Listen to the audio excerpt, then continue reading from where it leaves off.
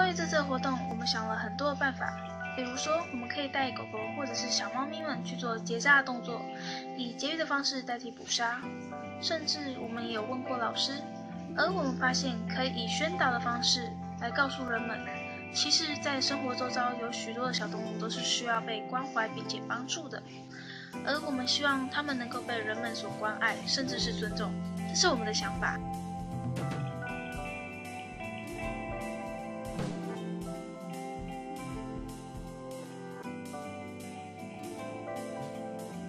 好好保护小狗狗吗？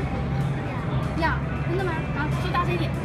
要哦，这小弟弟很有活力，这样让说有更多人类能去关怀并且照顾那些流浪狗。所以呢，我们现在要做，我们现在才会来这里做一个访问，并且做一些动作。那我们当然希望，如果你们要养狗的话，尽量是以领养的方式来去购买。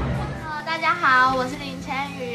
经过了这次的活动后，我发现其实想要改变世界，说起来容易，做起来却不简单。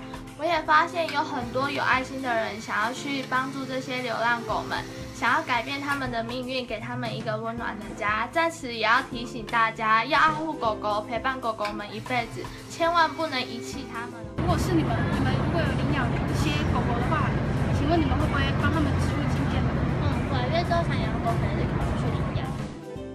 那么在指导今年我们文山国中的学生参加狗狗的梦想，学生们非常的主动，他们呢很早就来找我讨论该如何来进行呃行动，跟大家宣传说呃为什么要保护流浪狗。那在这个当中呢，呃我也看到他们经历到很多的困难，然后呢他们很积极的要采取解决困难的方法。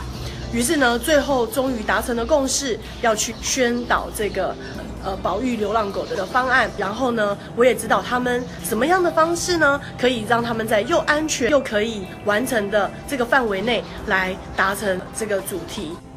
这次的活动让我们开始正视这个问题。那些流浪狗不都是被人们所遗弃的吗？而我们也深深的理解到，原来这些问题都是牵连在一起的。所以只要问题一出现，其他问题也会接二连三的跑出来。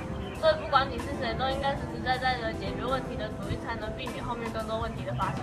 而我们也了解到，要完成我们的计划，并没有想象中的容易。在过程当中，我们被民众拒绝，遇到了这些艰辛和困难，却能让我们更加的成长，了解更多事情。经过这次的挑战，我相信我们会变得更加成为且冷静。而这次的挑战也让我们学习到了很多的事情。这次的挑战令我们觉得。